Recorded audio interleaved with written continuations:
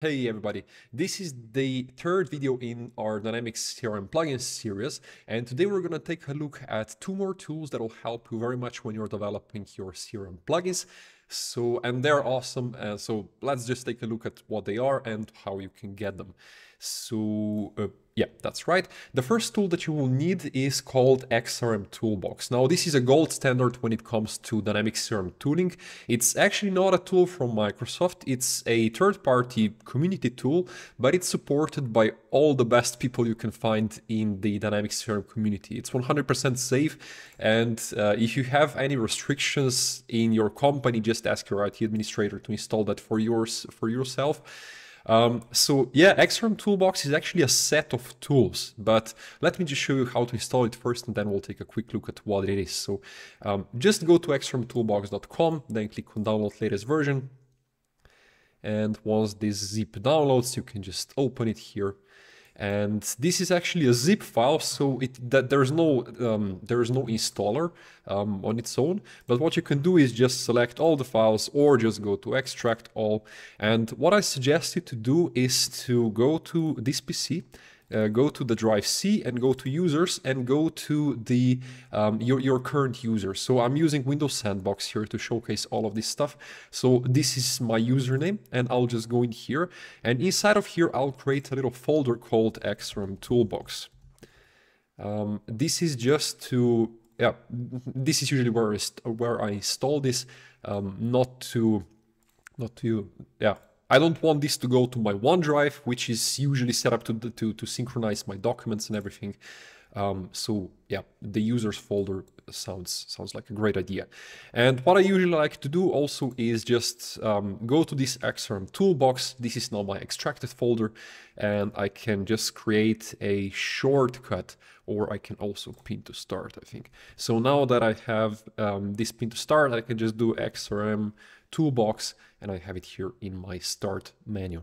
So if I open this XRM toolbox, just to showcase it very quickly, um, it's uh, again, uh, it's a set of tools and there, there's a lot of tools in here.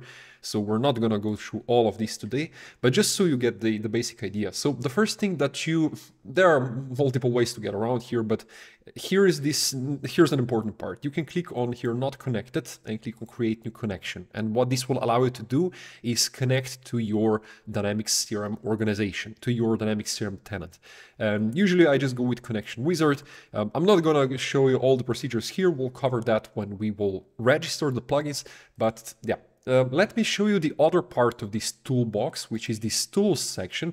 And as you can see, there's a whole bunch of these. So, um, and the tool we're going to use is actually, I don't think it's installed by default. Let me just search for it. So plugin, no, it's not. So yeah, I can go to configuration and then tool library. And in here, search for um, plugin. Um, I see I'll need to wait a bit. I figured out what I was missing. So the first time when you open this tool library, just press here on refresh and this will um, do away with this annoying pop-up. And now you can search for plugin registration, something like that. Yeah, this one with, with these weird flags. This was the former logo of Dynamics CRM, by the way. Um, and what you can do is just click on install. This is actually based off of, what if I just click on continue? Hope that works. um, this is actually based off Microsoft's first party. So this is this was originally a tool which uh, Microsoft developed themselves, and then they later incorporated it within this XRM toolbox. And um, yeah, fun fact: there's a, a, similar tool which is there's a newer version of this tool, but it actually works exactly the same, um, which is available kind of an, as a standalone installation. Um, but it's much more convenient to have everything here within XRM Toolbox. It just works works better. Now, I don't know what this is, why, why is it not loading? And that's the second thing I wanted to show you today, and it's already not working. So let me just try again, tool library, and search for plugin, registration. Okay, wait a bit again.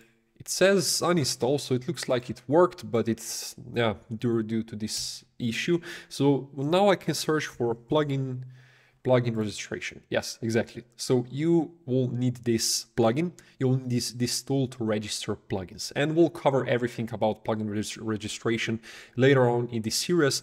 But uh, yeah, that's it for today about Xrm Toolbox. And I will probably also make another video just showcasing some of amazing plugins within this Xrm Toolbox.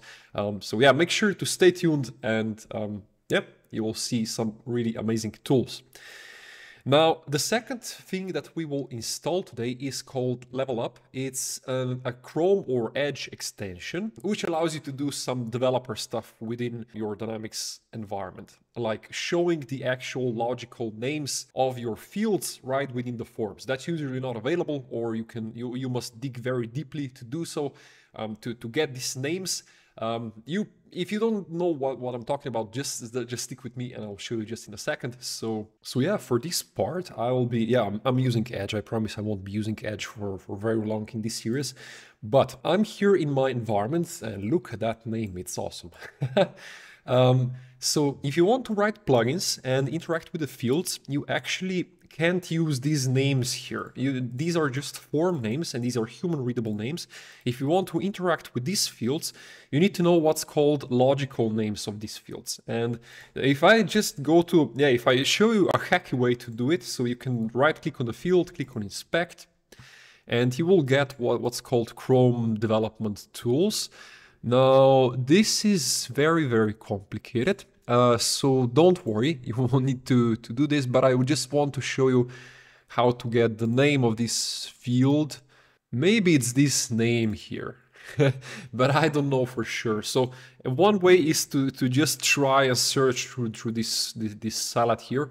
The other way to get the name of this field is to go to make.powerapps.com and go to your app and just edit it.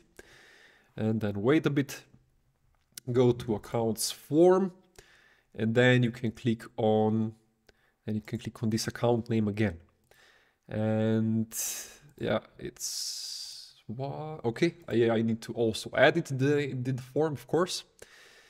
And in here, I should be able to just click on this field.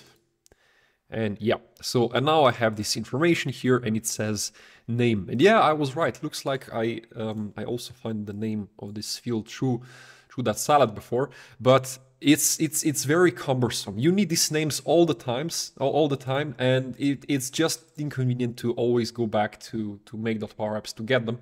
So there's a nice little plugin called um, I'll just search for Chrome Web Store first, and Microsoft Edge add-ons. Let's see if that's that's available here as well. Um, level up.